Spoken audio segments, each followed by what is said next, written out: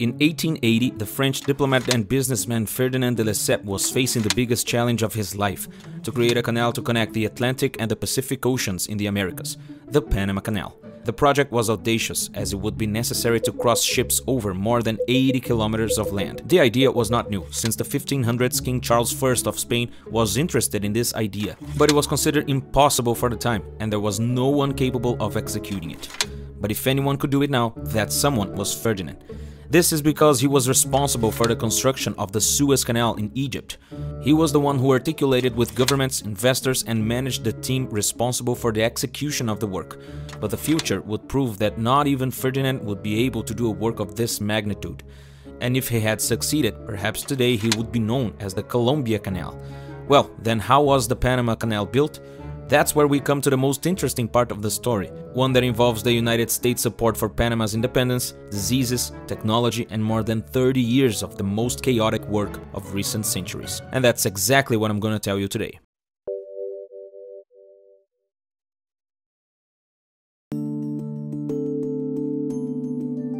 It is not today that a Panama region is extremely valuable. This is because Panama is an isthmus. That is, it is a strip of land surrounded by water on both sides that connects two larger extensions of land. It's like a corridor that divides the Atlantic and Pacific Oceans, and it is precisely because of its narrowness that Panama had already been coveted for years to make this crossing.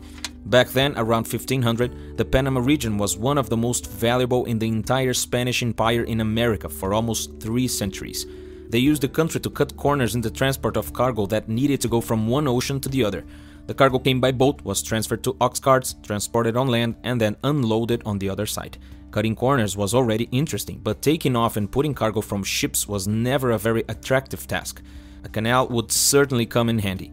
However, despite being narrow, the Panama Isthmus is 80 kilometers wide. That is, they already knew that digging a canal along this entire stretch would not be an easy task. But that didn't stop the idea from being considered. Still around 1500, King Charles I of Spain called his regional governor to research a route along the Chagres River, which is in the region but the mountainous terrain and the jungle discouraged everyone.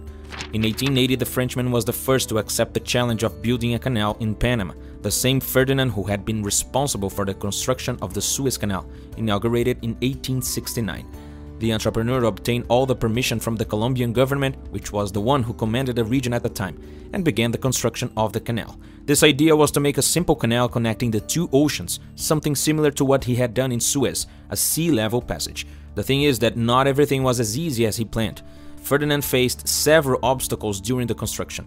The biggest challenge was tropical diseases, such as malaria and yellow fever, which took the lives of 20,000 French workers. Besides, Ferdinand's project did not consider the Chagres River, which was responsible for supplying thousands of inhabitants of nearby cities.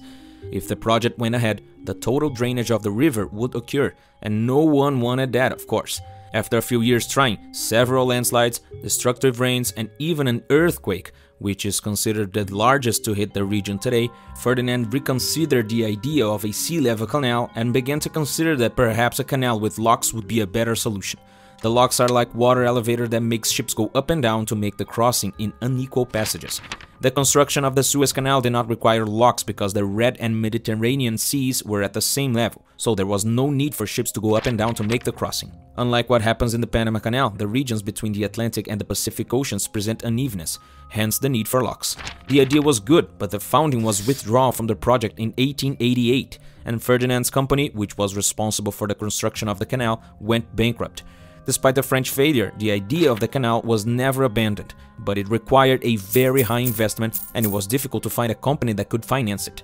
Years later, the then President of the United States, Theodore Roosevelt, saw a great strategic opportunity for the country in the project and decided to invest. In 1902, the United States bought the French assets in the canal region for $40 million, and in 1903, they tried to establish the Hay-Herran Treaty with Colombia.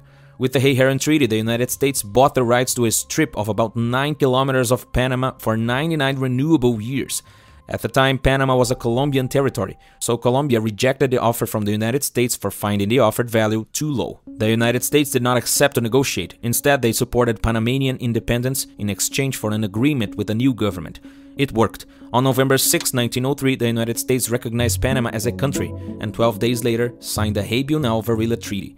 Which gave the United States exclusive possession of the Panama Canal region for $10 million and $250,000 annually, which began to be paid nine years later.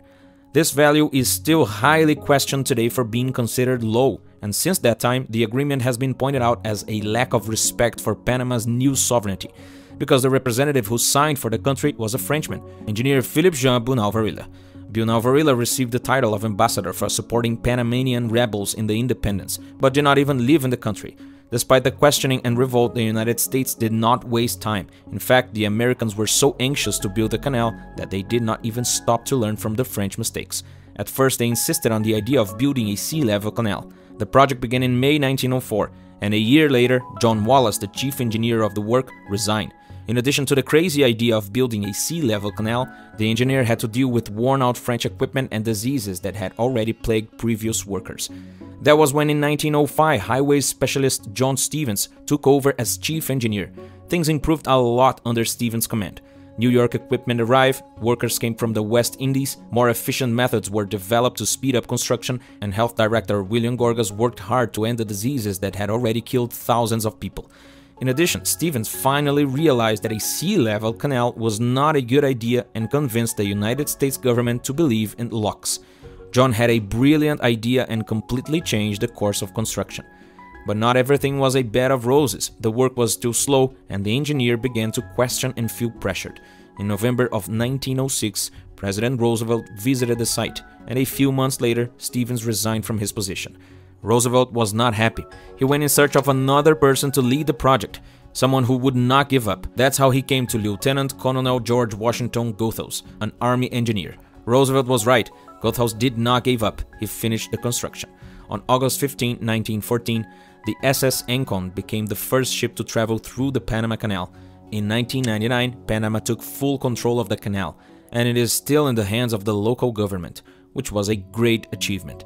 Despite the chaotic construction, the project is truly grand.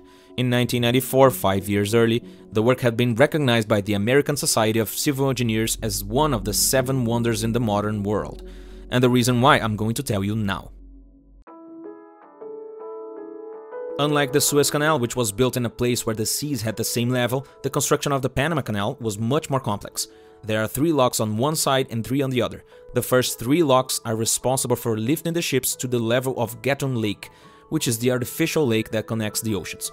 Once in the lake, the ships continue to the other side and are lowered again by the lock system, which leaves them at sea level to continue their journey. Today, there's a new set of locks on the side of the old ones, so it's basically like two canals, the old and the new, side by side. The difference is that the new canal supports ships up to three times larger. In addition, in the old locks, locomotives are used to pull the ships so that they do not hit the sides. In the new locks, tugboats do this work. Today, the Panama Canal is a vital piece of global trade. Between 35 and 40 ships pass through it every day. In addition, the canal has already received more than 1 million ships and generates more than $3 billion in tolls for Panama per year. In other words, the importance of the passage cannot be denied. The importance of the Panama Canal is indisputable. It's an excellent source of revenue for Panama, essential for Latin America, extremely important for the United States, and a large part of the world benefits from it. To give you an idea, just over 75,000 tons of petroleum derivatives pass through the Panama Canal every year. The big issue that the passage has had to deal with in recent years has been its incredible and somewhat problematic engineering. The lock system is quite complex and makes the canal work very well, but the lack of rain in 2019 revealed an important problem. The canal is very dependent on this resource. In the following year, 2020, the canal faced a serious natural crisis when it was discovered that it was running out of water. In 2016, reforms had already been made to the passage to optimize water usage, and now the responsible authority is working to prevent the canal from becoming unusable. One of the measures already adopted was a reduction in the number of ships making the crossing. Panamanian authorities know that a blockade of the Panama Canal and will cause the country itself to lose a considerable amount of money so they must continue to work to prevent this from happening. What do you think about the Panama Canal? Leave a comment below. If you like this video, I'm sure you'll enjoy this other one that's on screen right now. In it, we talk about the wine industry scam and how they fool the biggest names in the wine circles. So click on it and I'll see you there. Also, also, thanks and we'll see you soon. Bye bye.